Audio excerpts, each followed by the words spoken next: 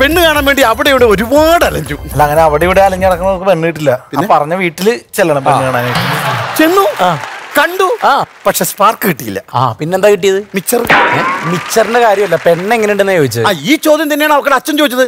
മോനെ പെണ്ണ് എങ്ങനെയുണ്ടെന്നു? പെണ്ണിന് ഇഷ്ടപ്പെട്ടെന്ന് ചോദിച്ചു പറഞ്ഞു ഞാൻ ഇഷ്ടപ്പെട്ടില്ല. കാരണം സ്പാർക്ക് ഇല്ല എന്ന് പറഞ്ഞു. പിന്നെ ഇവരുടെ ഒരു പ്രാക്കായിരുന്നു. നീ മൂത്ത് നരച്ചു പോകൂടാന്ന് ആ ഇത് കേട്ടപ്പോ മനോജിന് ടെൻഷനായി കാണുമല്ലോ എന്തിന്? അതെന്താ? മൂത്ത് നരച്ചു പോകാന്ന് പറയുമ്പോഴത്തേക്ക് ആർക്കായാലും ടെൻഷൻ വരുത്തില്ലേ?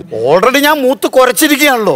പിന്നെ നര അത് ആവശ്യത്തിന് തലയിലുണ്ട്. ഇപ്പൊ മൊത്തം ഡൈ അടിച്ചേക്കല്ലേ. അവരുടെ പ്രാക്കും വേസ്റ്റായി കുറെ മിച്ചറും വേസ്റ്റായി അല്ല ചേട്ടൻ ഈ പെണ്ണ് കാണാൻ പോയ പെണ്ണിന് ഇഷ്ടമായി നോക്കിയാ പോരെ?